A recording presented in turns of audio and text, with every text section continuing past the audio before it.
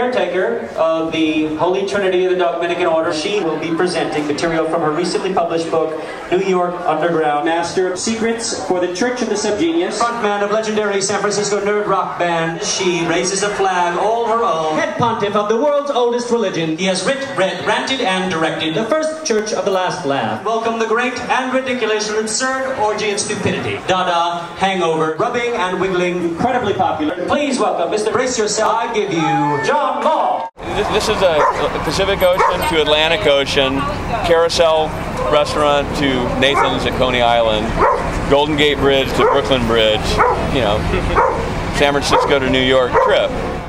It all started with the Doggie Diner heads when the San Francisco Cacophony Society salvaged these advertising icons from a vanished chain of hot dog stands. Now they would follow the bus all the way to New York.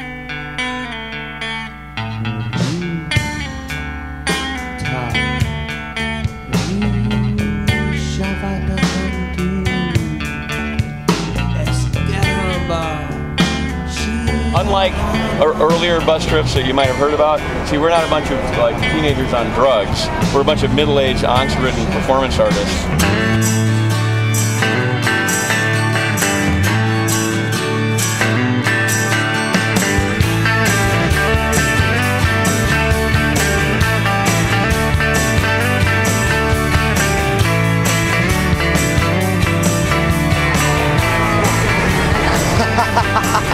I was just really, really curious about, um, you know, what you guys were doing, if you were going to do something right here on this spot. It was really exciting.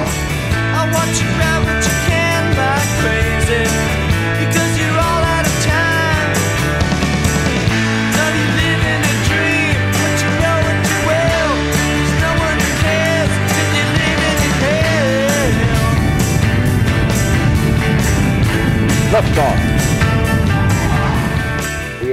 bike club and we build pedal powered rides and uh, altered bikes, tall bikes and long bikes, and we do a show called the Bike Rodeo. We are basically a bunch of pedal crazed, uh, welding idiot clowns who basically take bikes that are disposed of by our wonderful disposable society and we create these ultra cycles and we like to take these bicycles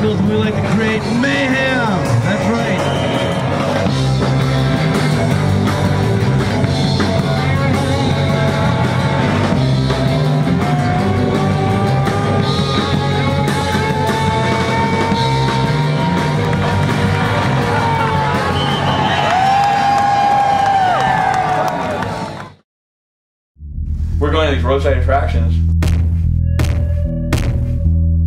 but we're bringing our own roadside attraction, you know, with us. You know, we're traveling with our own roadside attraction. I've never heard of that before, so it's kind of a kind of a weird thing. Considering the current state of affairs in the world, one can only wonder how much longer such road trips will be possible.